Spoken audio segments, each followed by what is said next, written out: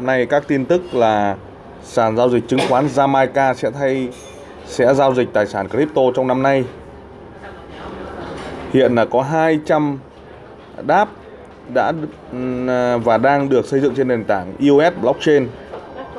Dạ. À, EOS đấy. ETC thì là có cá mập nào đó đã bán ETC với giá là 100 đô và với số lượng là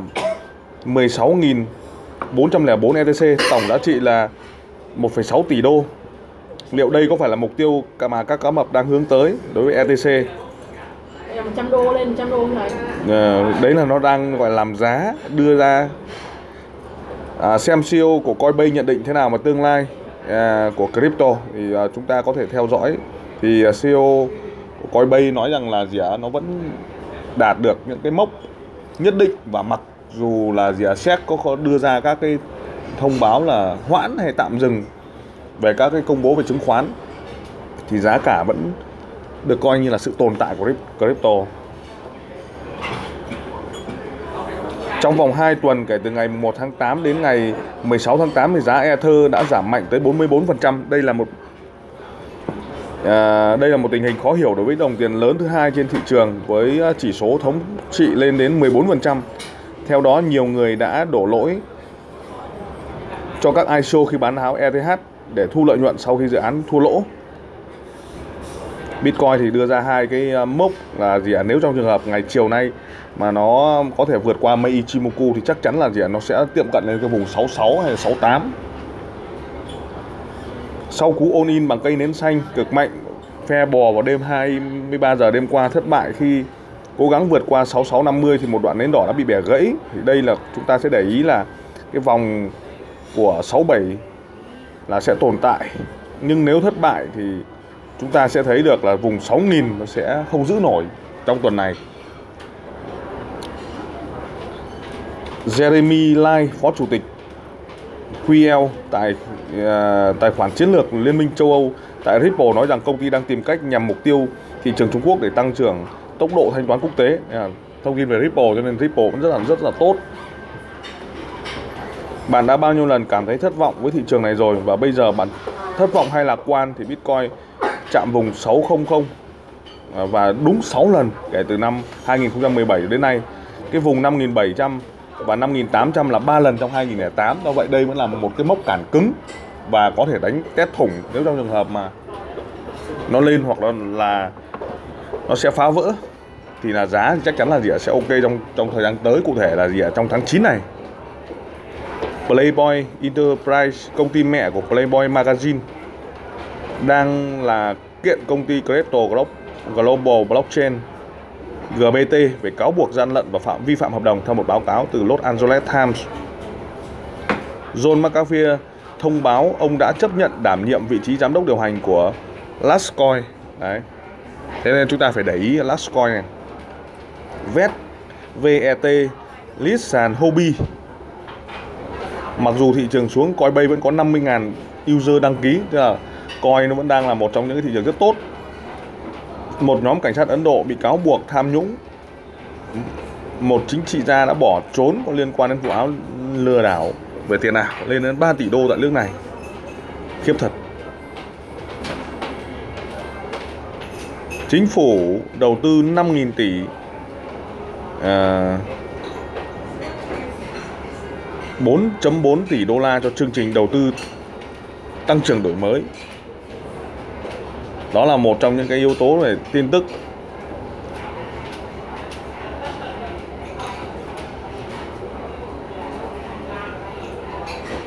Một nhà đầu tư Mỹ đã đệ đơn à, kiện với giá là 224 triệu đối với gã khổng lồ viễn thông AT&T vì cáo buộc sơ suất mà ông tuyến mà ông đã khiến ông mất 24 triệu tiền mã hóa. Đấy, đây là những cái mà thông tin kiện AT&T do các cáo buộc hắt khiến nó mất 24 triệu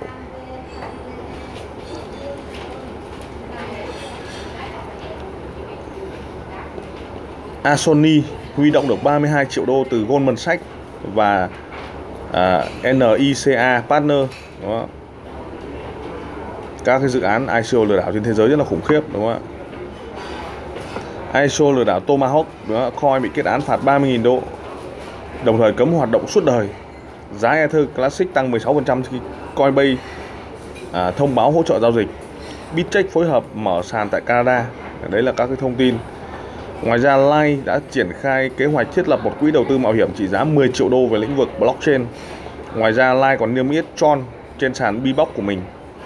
Năm dự đoán tiền điện tử. Rất nhiều các thông tin nữa.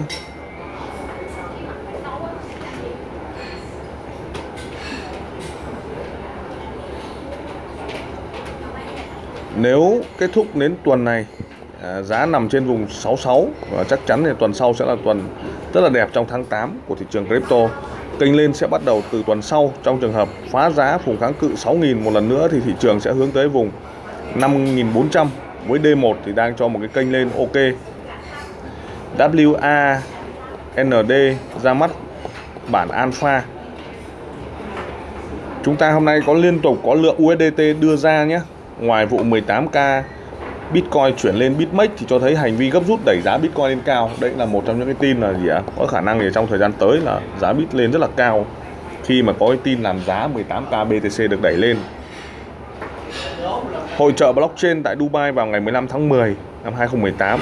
À, chúng ta chú ý 15 tháng 10. Tiếp theo là các nhà quản lý của Thái Lan đã công bố thứ năm ngày 16 tháng 8 họ đã phê duyệt hơn 7 đơn vị kinh doanh tiền để tiến hành các hoạt động tiền điện tử như một phần của việc chính thức hóa thị trường nội địa của đất nước. Ở bên Thái Lan đó, trong một tuyên bố Ủy ban chứng khoán giao dịch Thái Lan, Thái Sec đã xác nhận công ty trách nhiệm hữu hạn Bitcoin BX công ty trách nhiệm hữu hạn Bicoc Online, công ty trách nhiệm hữu hạn Cash to Coin, công ty trách nhiệm là tập đoàn TDAX công ty tài sản Coin. Đó đó là những cái thông tin Ngoài ra, điều hành nhà điều hành đã phê duyệt hai đại lý tiền điện tử Coin THCO Ltd và Digital Coin CO Ltd. Hoạt động à, này, động thái này là một phần của một gói các quy tắc chuyển tiếp các điều chỉnh à, các doanh nghiệp mật mã hoạt động ở Thái Lan trước khi đi vào quy định đầu tiên có hiệu lực vào ngày 14 tháng 5. Ở Thái nó rất là nghiêm túc về thị trường này. Hôm nay lúc 5 giờ à, tức 7 giờ sáng mai chính thức ETC được giao dịch trên Coinbase đấy nhé. Giám đốc điều hành của Coinbase Brian Armstrong, em xem Coinbase đi, là một trong những cái tên nổi tiếng nhất trong thị trường điện tử. Ông ta cho rằng là Armstrong uh, không quan tâm đến quyết định của Ủy ban chứng khoán và giao dịch Hoa Kỳ xét để trì hoãn về một quỹ giao dịch ngoại hối được đề xuất ETF. Đây là một trong những chủ đề mà Armstrong đã thảo luận trong một cuộc phỏng vấn sâu rộng với Bloomberg.